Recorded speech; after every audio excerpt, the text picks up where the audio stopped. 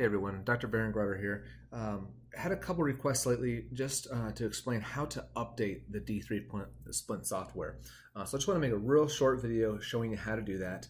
Um, so uh, just be aware, this update process may change over time. Might not always be this process, but um, for the time being, this is how it works. So once you've uh, purchased the D3 Splint uh, utility and downloaded it, you're actually going to be, at least for the time being, um, of this making of this video, the version you get is version uh, 0.3.9. Uh, it comes as a zipped folder, so you're going to right click on it, you're going to click extract all, and then determine where you want to extract it to. I recommend keeping this on your computer, not in Dropbox. I'm a big Dropbox user, however, there are some issues with updating it. I, we haven't quite figured out, and I've been working with Patrick, I'm trying to figure out what that is. Uh, he knows much more about all this, but for some reason it throws some uh, little uh, issues. So anyways, keep it on local on the computer um, when you uh, go to update it. So anyways, go ahead and hit extract. I'm not going to bore you with that process. It, this is a, fairly large uh, file to decompress uh, into a much larger uh, folder. So uh, anyway, so right now um, I open it up, double click here, double click here to open up the software.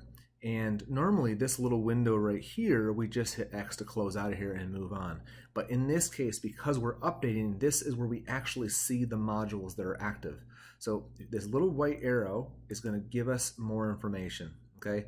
You see right here where it says version, version 0.3.9. This is also where you can re report bugs, issues um, in a, a, little a better, um, uh, a better way for uh, Patrick uh, Dr. Patrick Moore to uh, update the features. Anyway, so come down here, click on not for clinical use. This is where you can change the color and make everything look prettier if you want. But really, we're going to come down here to um, check uh, check for uh, D3 guard update. Click on this box. I don't bother with the auto check for updates. I'm not really sure why I don't know. It doesn't seem to update for me, but um, that may that was a number of versions ago. Maybe that's working now.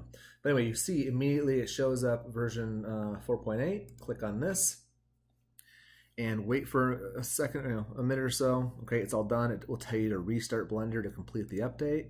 Okay, close it out. Yes, I want to quit. Open it back up.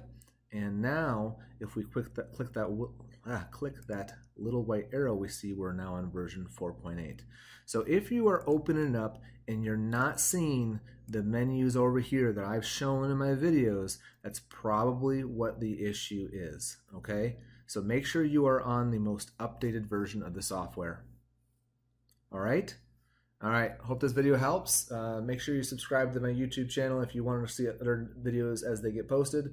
Um, otherwise, uh, thanks for checking out the video, and uh, let me know if you have any questions. Thanks so much. Bye for now.